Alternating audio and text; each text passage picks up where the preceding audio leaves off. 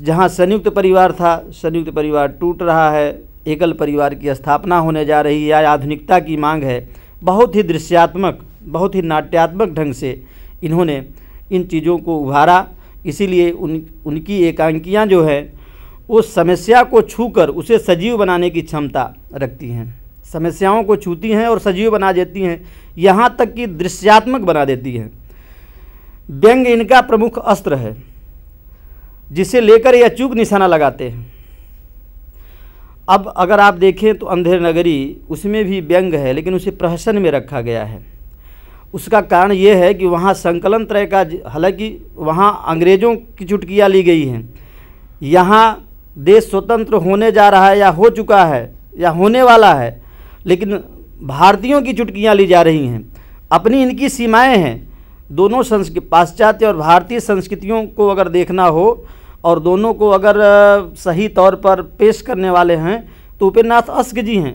सूखी डाली देवताओं की छाया में, तूफ़ान से पहले चरवाहे, विभिन्न प्रकार की एकांकियों में आप देखेंगे तब पता चलेगा आपको। प्रायः अस्क का जीवन संघर्षों का एक जीवित इतिहास है, और वह इतिहास कहीं न कहीं उनकी एकांकियों में झलकता है। जनता के प्रति सहानुभूत, यथार्थ को देखने की सूक्ष्म दृष्टि और जनहिताय का स्वदेश लेखन ही अस्क की एकांकी चेतना को नई शक्ति देता है, नई ऊर्जा देता है। यह बात अलग है कि रेडियो रूपक या रेडियो नाटक प्रारंभ हो चुके थे और आगे जिस तरह से जगदीश चंद्र माथुर आते हैं हमारे सामने, जगदीश चंद्र माथुर कोणा, कोणार्क ऐतिहासिक नाटक है उनका, लेकिन प्रशासनिक सेवा में रहते हुए उनके दो एकांकी संग्रह वो मेरे सपने, भोर का तारा, प्रकाशित हैं।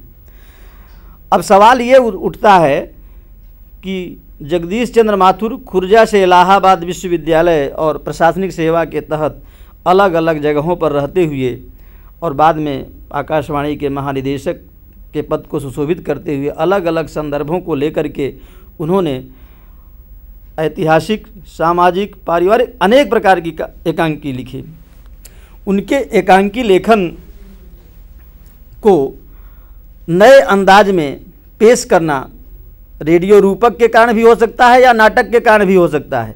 या यह हो सकता है कि उनके पूर्ववर्ती एकांकीकारों ने जो लिखा है, उससे हट करके सामाजिक भारतीय परिवार व्यवस्था को कैसे निरूपित किया जाए, यह भी हो सकता है एक नई कला उनमें आई और उस कला के चलते उनकी अगर एक एकांकी रीढ़ की हड्डी को देखा जाए, उस समय नारी विमर्श नहीं था।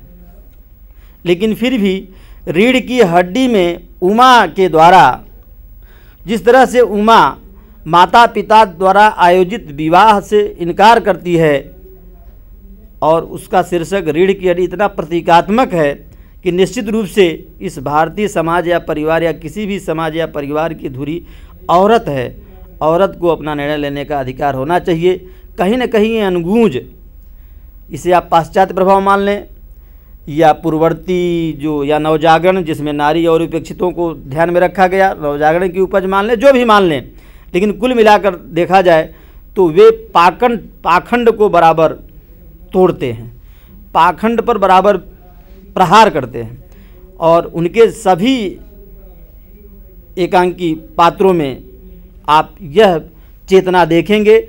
लेकिन उनका जो विद्रोह है, वो विद्रोह कहीं न कहीं परिवार के सकारात्मक पहलुओं को लेकर चलने वाला है। यानी धीरे धीरे उनके एकांकी के पात्र इतने पढ़े लिखे हैं, प्रबुद्ध हैं कि एक दूसरे की जो प्रॉब्लम्स है, समस्या है, उसे अच्छी तरह से समझते हैं। मैं समझता हूँ कि जगदीश चंद्र माथुर ने प्रमुख एकांकीकारों में एक नई जगह बनाई।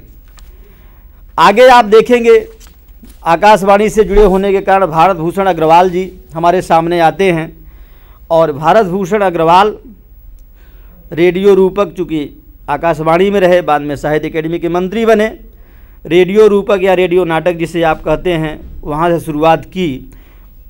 उनके कवि और अन्य विधाओं पर बात न करके उनकी जो प्रमुख एकांकी हमारे सामने हैं, खाई बढ़ती गई, पलायन, महाभारत की एक साँझ। अब आप देखें, खाई बढ़ती गई। हमने सामंती व्यवस्था तोड़ी या तोड़ने की पहल की और आधुनिकता की तरफ़ आए। लेकिन आधुनिकता किसके लिए? बौद्धिकों के लिए। जो सर्वहारा है, उसकी क्या हालत है, वो आप देख सकते हैं। और इस एकांकी के पात्रों के द्वारा खाई बढ़ती गई, यानी धनी और गरीब, शिक्षित और अशिक्षित के बीच का अंतराल बढ़ता गया। ये दिखाया गया है पलायन। यहाँ पलायन भारतीयता के प्रति भी है संयुक्त परिवार के प्रति भी है और अन्य तरफ़ से हम देख सकते हैं और महाभारत की एक साँझ जहाँ ऐतिहासिक पात्र के द्वारा महाभारत की जो विडंबना है, उसे भी वे हमारे सामने व्यक्त करते हैं। उसी समय अंधायुग में धर्मवीर भारती ने बहुत सारी चीज़ें हमारे सामने रखी थी। मैं अंधायुग की बात यहाँ नहीं कर रहा हूँ लेकिन महाभारत की एक साँझ जो कसम कस एकांकी है इनके इनकी भाषा अत्यंत रोचक सतर्क पौराणिक वातावरण के अनुकूल और आधुनिकता से ओतप्रोत है। धर्मवीर भारती साहित्य की विविध विधाओं के अलावा उनका एकांकी संग्रह आवाज़ का नीलाम जिसमें बाजोरिया जैसे पूंजीपति मानवीय भावनाओं का फ़ायदा उठाते हैं। और आवाज़ का नीलाम एकांकी संग्रह एक ऐसा एकांकी एकांकी है जो बौद्धिकों को कृतदास की तरह हमारे सामने ले आता है। और जो व्यावसायिक हैं और जो धर्म गुरु हैं, किस तरह से पैसा बटोरते हैं, उस पर पूरा का पूरा उन्होंने प्रहार किया है। प्रतीकात्मक प्रस्तुतिकरण उनका काफ़ी सराहनीय है। मोहन राकेश अंडे के छिलके, नाटक के क्षेत्र में, हालाँकि कहानी के क्षेत्र में भी इन्होंने काम किया, नाटक भी लिखा, उपन्यास भी लिखे, लेकिन एकांकी, एक ही एकांकी इनका प्रकाशित, एकांकी संग्रह प्रकाशित है, अंडे के छिलके। उस अंडे के छिलके में मध्यवर्गीय, उसमें पाँच छः एकांकियाँ हैं, लेकिन मध्यवर्गीय जो विसंगतियाँ हैं और जो दिखावापन है, बड़ी मार्मिक, संवादपूर्ण शैली में इन्होंने व्यक्त किया और संकलन त्रय का पूरा ख्याल रखा। इसी संदर्भ में देखा जाए तो विष्णु प्रभाकर चूँकि आदर्शवादी हैं, इसलिए उनके प्रमुख एकांकियों में मैं मानव हूँ। समरेखा विषम रेखा तीसरा आदमी सीमा रेखा टूट, ये सब में टूटते परिवेश की प्रस्तुतियाँ दिखाई गई हैं। संस्कार और भावना, युगसंधि, जहाँ दया पाप है, उपचेतना का छल, पूर्णाहुति, वीर पूजा, दरिंदा, प्रकाश और परछाइयाँ आदि एकांकियों में कहीं न कहीं इन्होंने आदर्श को ही स्थापित करने की कोशिश की है। लेकिन आदर्श और यथार्थ दोनों अलग अलग हुआ करते हैं। संस्कार और भावना एकांकी, उसमें अगर आप देखेंगे, आदर्श निश्चित रूप से हमारे लिए आवश्यक हैं, लेकिन अगर वो यथार्थ प्रेरित हैं, आदर्शोन्मुख यथार्थ है तो ज़्यादा अच्छा है। ममता कालिया के अब तक प्रकाशित एकांकी संग्रहों में आत्मा अठन्नी का नाम है, यहाँ रोना मना है एवं जान से प्यारे। यहाँ रोना मना है, इसमें इस एकांकी में अगर आप देखें तो किस तरह से कालिंदी ससुराल के घूटनपूर्ण वातावरण में जीवन जीती है?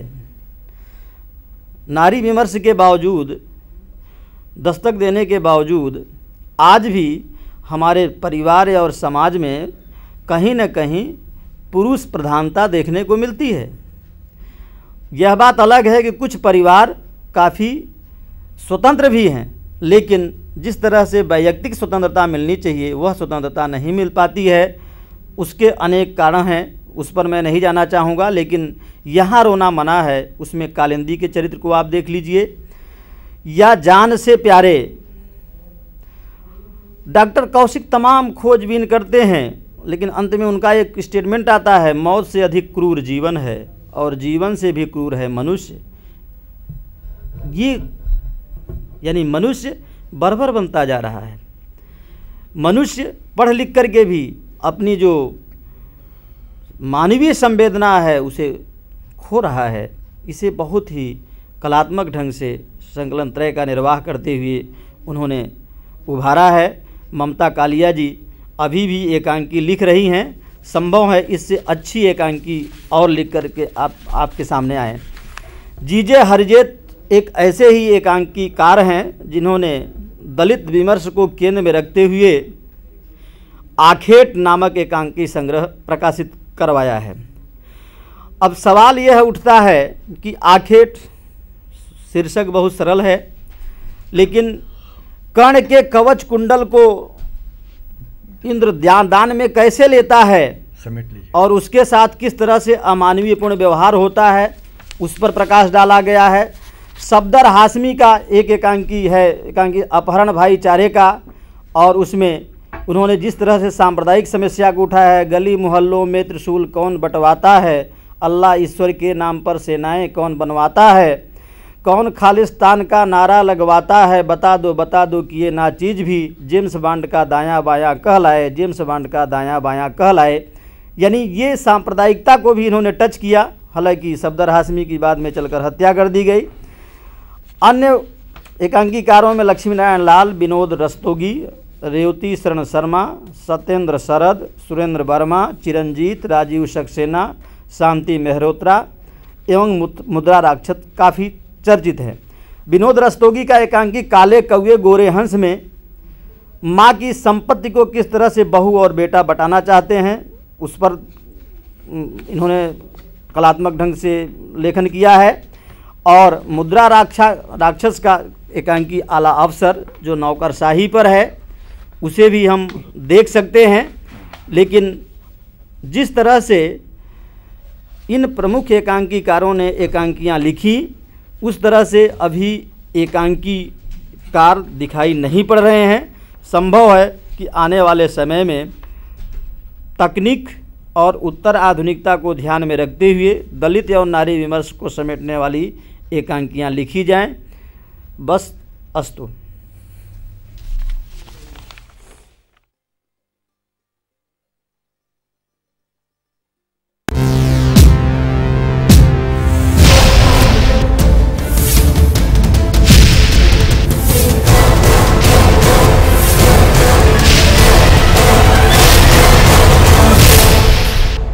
સંધાન ઓલ ગુજરાત ઇન્ટિગ્રેટેડ ક્લાસરૂમ સેટેલાઇટના માધ્યમથી જોડતી કડી એટલે સંધાન